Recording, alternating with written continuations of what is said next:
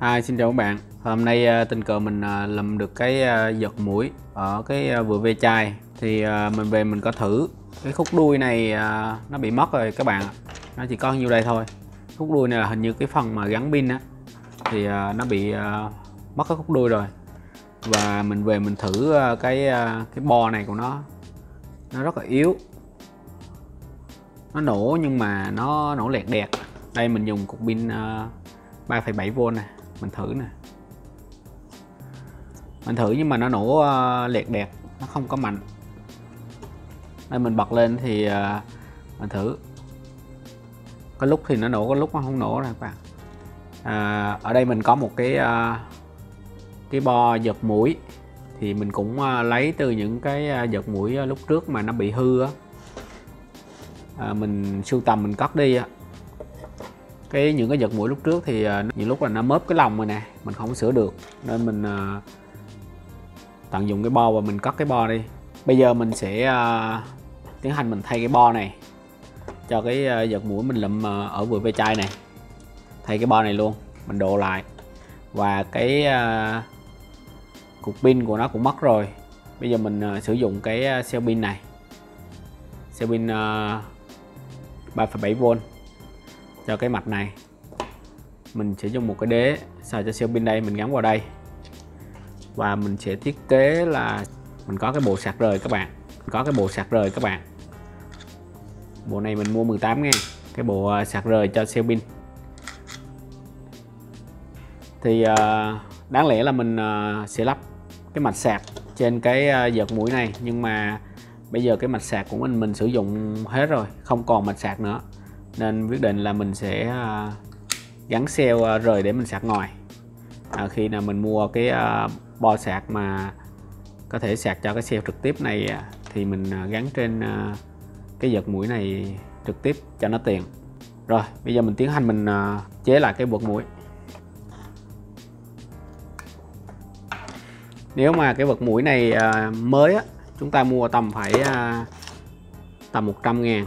Việc chúng ta tận dụng các cái đồ cũ có sẵn và có một ít kiến thức về điện, thì chúng ta có thể ờ, tự ờ, mày mò và sửa chữa các thiết bị của chúng ta. Ở đây nó có con ốc để dặn, nhưng mà không sao, mình phá tí nữa nó có cái ờ, cái phần khớp ren ở dưới đây nó dặn lại thì nó cũng chắc hơn ở đây chúng ta đục một cái lỗ để lòi cái bóng đèn.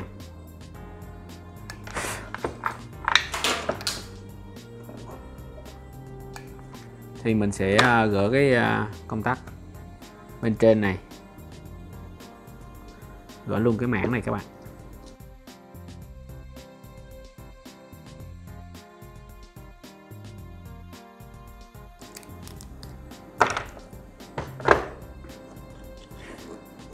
Ở đây mình sẽ hàng cái chân cấp nguồn vào với cái công tắc.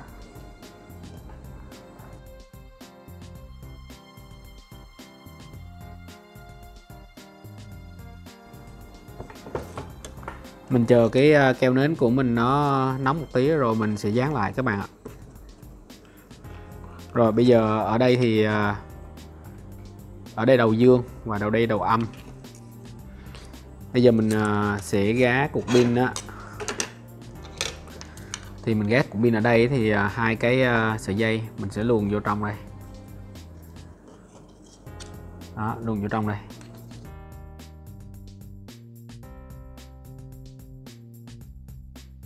Rồi tiến hành mình gá cái ờ, siêu pin trước đây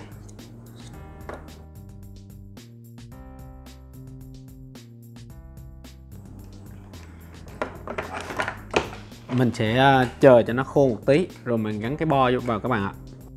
Rồi bây giờ mình gá cái bo vào luôn. Keo của mình đã nóng rồi bây giờ mình gá cái bo vào luôn. Mình sẽ ờ, tiến hành một dán một ít keo. À, mình cho một ít keo vào đây.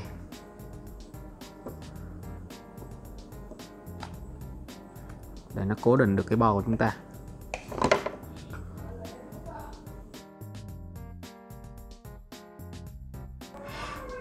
Mình cũng dán cho nó một xí keo ờ, cố định lại các bạn.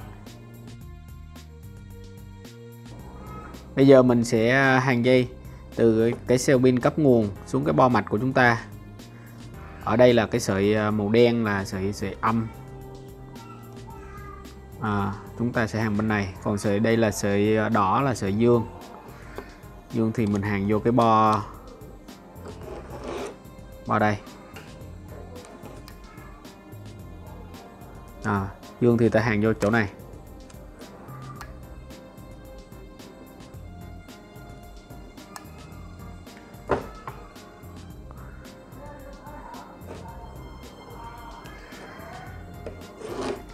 Sợi đen thì ta hàng xuống dưới cái đầu công tắc này các bạn.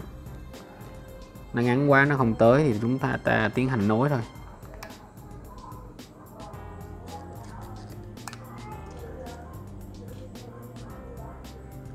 À, mình nối vô cái điểm đây. Điểm đây là nó bỏ các bạn ạ. Và mình sẽ câu một cái đoạn dây từ đây xuống à, dưới.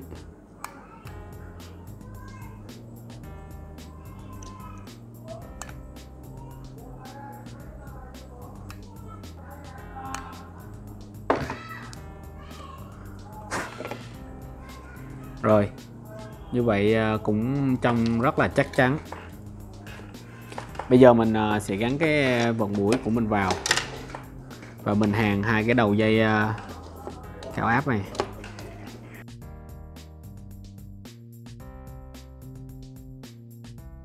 Rồi, cơ bản là xong rồi các bạn. Bây giờ mình sẽ đầy cái nắp lại, trông cho nó gọn gàng hơn.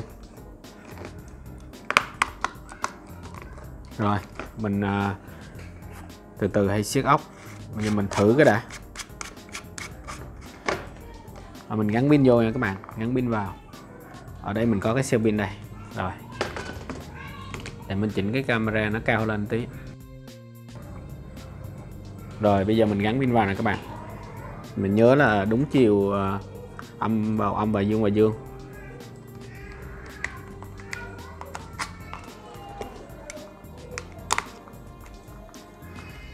À, cái đây là mình để mặt sau. Thì bây giờ mình à, à mình quên gắn cái uh, nắp cái nút bấm.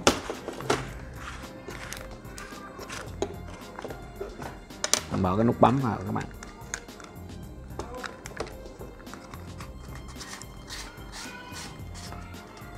Rồi.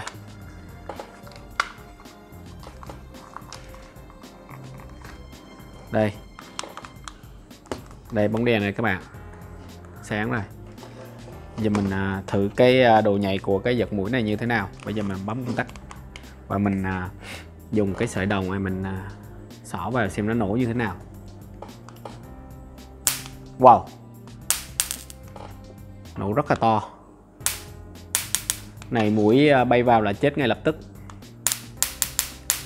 Đấy.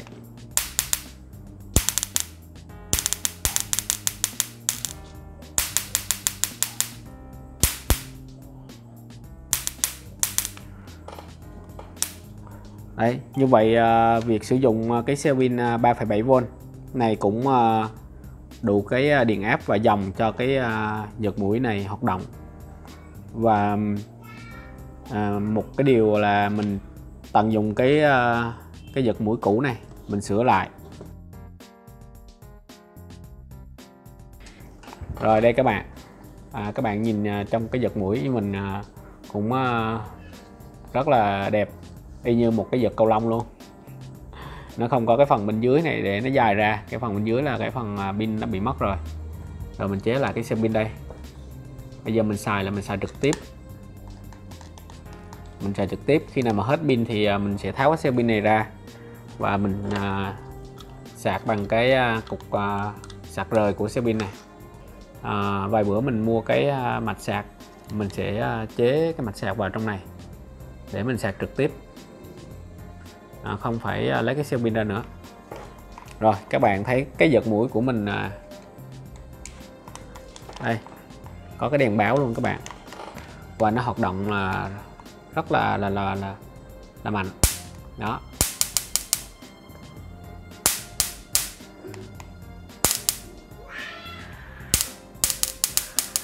Rồi, cảm ơn các bạn đã theo dõi video. Các bạn ủng hộ mình bằng cách like video và đăng ký kênh. Hẹn gặp lại các bạn trong những video lần sau.